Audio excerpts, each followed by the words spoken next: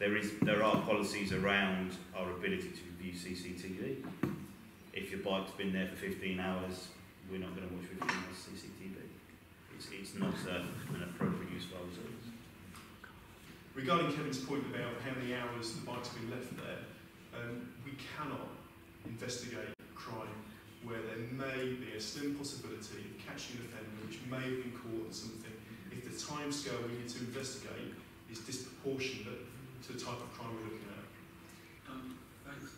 Thanks, Gemma. I won't say it because I think Richard's going to say probably the same thing as me about watching video footage. Yes, he is. So I'll leave it to the rest of the Okay, Mr Taylor. Thank you.